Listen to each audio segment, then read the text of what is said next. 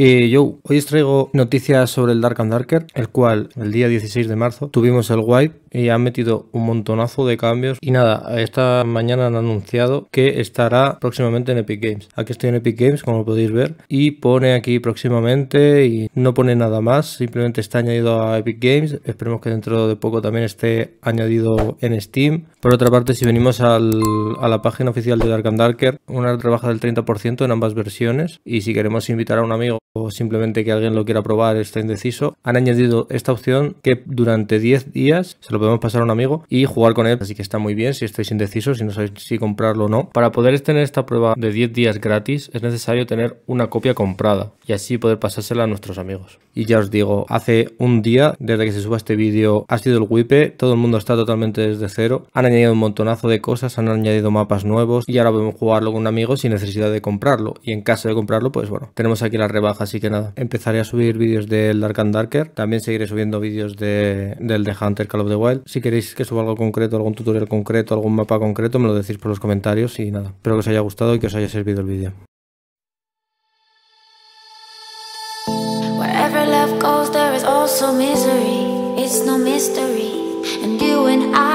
history.